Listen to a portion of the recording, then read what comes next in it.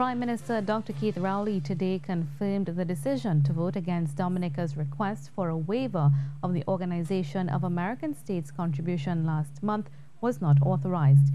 He said the Minister of Foreign and CARICOM Affairs was never consulted. At the weekly post-cabinet briefing, Prime Minister Rowley revealed the report into the events of the OAS mix-up, which he described as disturbing reading and was referred for expert review. Ian Wason has the details. According to Prime Minister Dr. Keith Rowley, there was no Trinidad and Tobago representative at the meeting on March 15th when it was decided collectively that members of the Organization of American States would support Dominica's waiver request.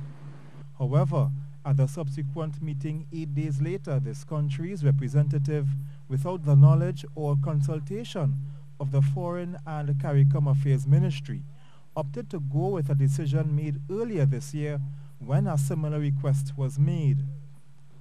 What they were referring to was an earlier meeting in February, I think, where there was a request by another CARICOM country for a waiver within CARICOM on, on, on the matter.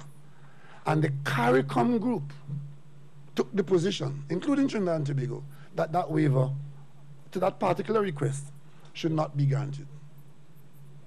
The position taken at the meeting was not in line with government's position in support of Dominica that I was physically present in the ministry and had extensive discussions with the permanent secretary during the same period of 23rd March 2018 that the unauthorized position of Trinidad and Tobago was conveyed to the embassy in Washington.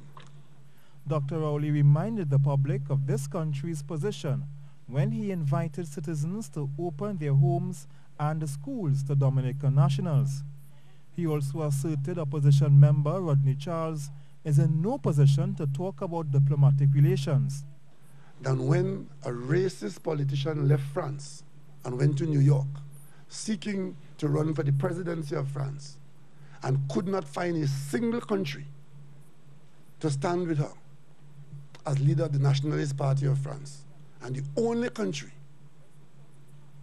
that stood with her and had lunch with her was Trinidad and Tobago.